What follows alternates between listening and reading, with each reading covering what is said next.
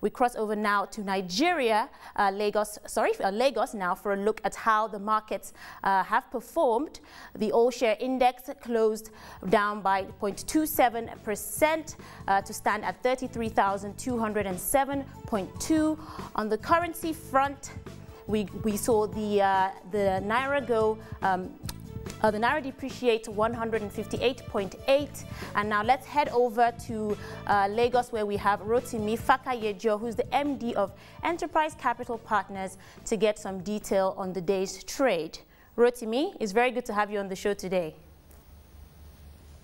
Yeah, it's good. Uh, good evening, Didi. Great. Now let's start by discussing uh, the performance today. We saw uh, a drop in the index, and one one gets the impression now that investors are getting increasingly anxious, obviously because of the lateness that we've seen in company results. Do you agree?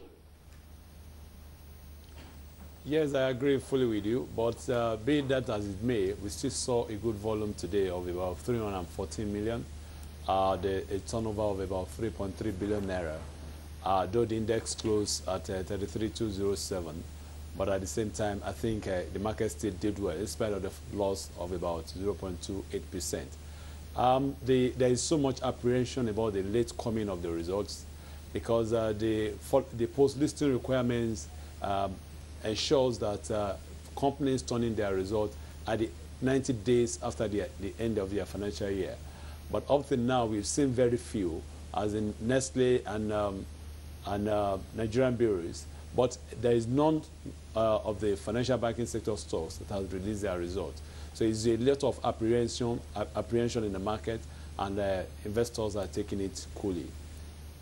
Okay, now let's take a look at uh, what's uh, a comment that the CBN governor made yesterday. He, of course, made mentions of the gains that we've seen in the equities market. However, he did say that that was largely due to hot money from foreign investors. Now, we know that foreign transactions in the NSE have exceeded 50% of total deals since 2010.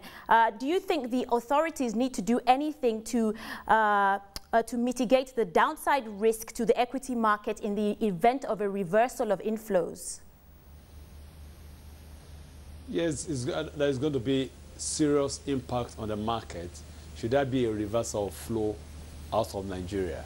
Uh, we've seen that money create a lot of positive impact on the market.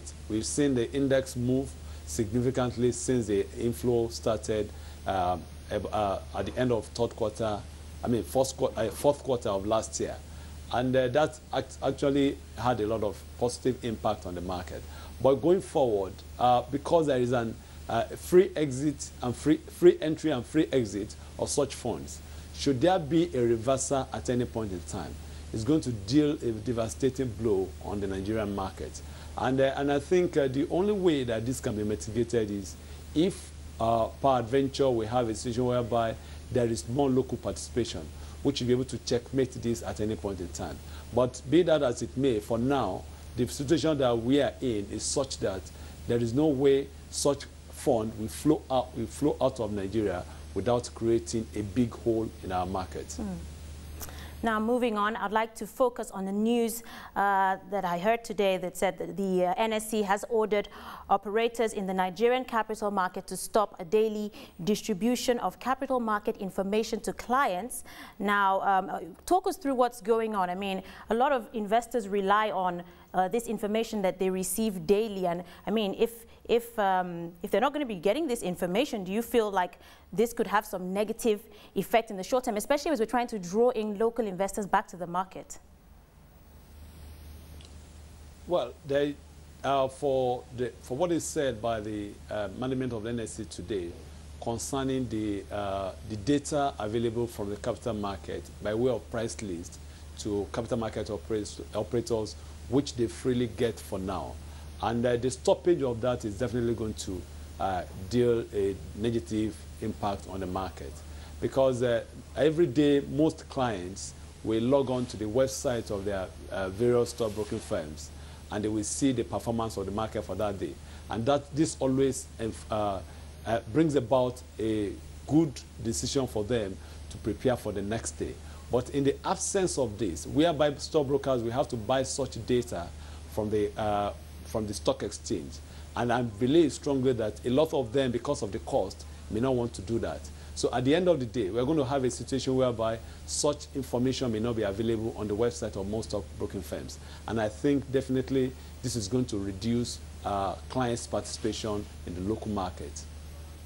Now, as you mentioned, of course, we're expecting the release of results from the banks. Uh, you know, there's talk that we might see some results from the likes of GTB, uh, maybe Unity Bank this week. It would be great to have your expectation for dividend payments in this earnings season and the type of yields that investors should expect.